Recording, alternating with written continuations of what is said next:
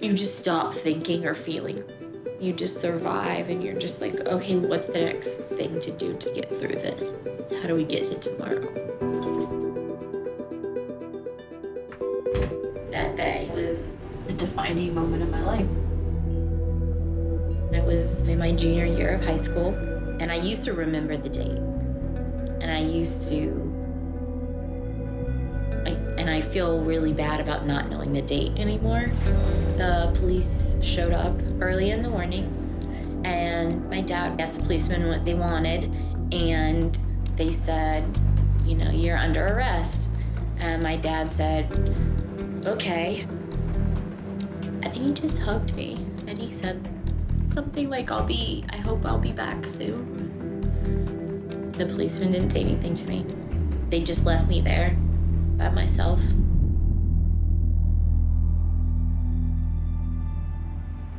His release date is three years from now.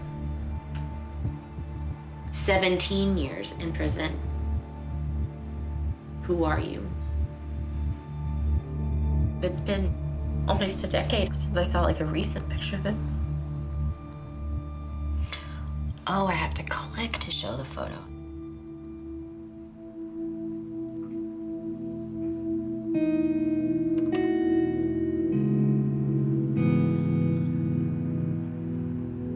It's awful.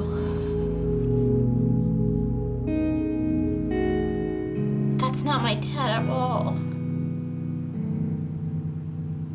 Like when I think about my dad, I just don't want to think about it like that. And I think that's maybe why I keep all the pictures around. Because in those pictures, he looks like himself. And I don't have to think about him this way because he's not. This isn't what I ever want to think about when I think about him. Dear Daddy, every time I told myself I was going to write you and didn't, I thought about you and loved you. I'm sorry for every day that went by that you didn't hear from me. All of those days were me building up the courage in order to get to this place. I want us to really know each other again by the time you come home. I love you.